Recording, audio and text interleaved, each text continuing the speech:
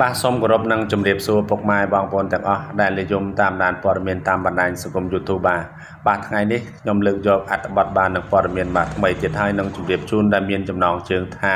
សូមបងប្អូនជួយ share ឲ្យដឹងដល់ឯកឧត្តមសថេតដើម្បីស្រាវជ្រាវរកប៉ូលីសស្រីម្នាក់នេះមកទទួលទោសតាមច្បាប់ផងព្រោះដើរបោកប្រាស់ជនបរទេសជាច្រើនអ្នកណាស់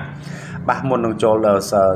ស្ដាប់ព័ត៌មានបាទសូមពុកម៉ែបងប្អូនទាំងអស់សូមកុំភ្លេចជួយ like Subscribe និង Share និងសញ្ញារូបបណ្ដឹងដើម្បីទទួលបានព័ត៌មានថ្មីថ្មីបាទ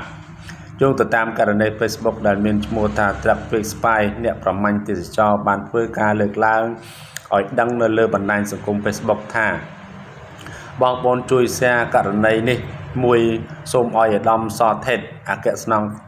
ស្នងការដ្ឋាននគរបាលជាតិ General Comrade our National Police មេតាស្រាវជ្រាវនាងអ្នកនេះមកទទួល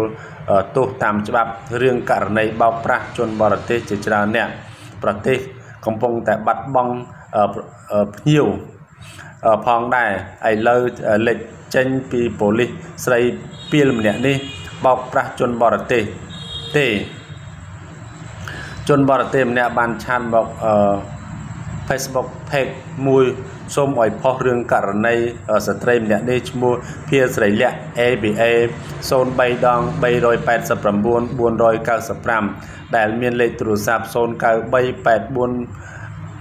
8465 076 5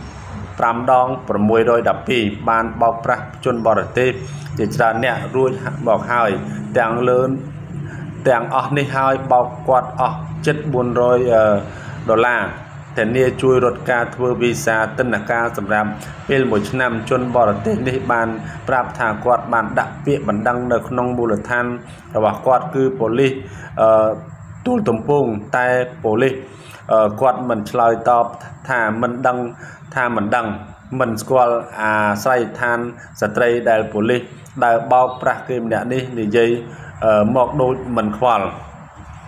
បាទឥឡូវនេះមានប៉ូលីសបាទជនស្រីម្នាក់បាទ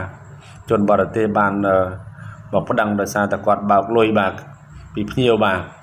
បាទសូមថ្លែងអំណរគុណប្រិមិត្តដែលបានតាមដានព័ត៌មានបាទសូមអរគុណនិងសូមជម្រាបលា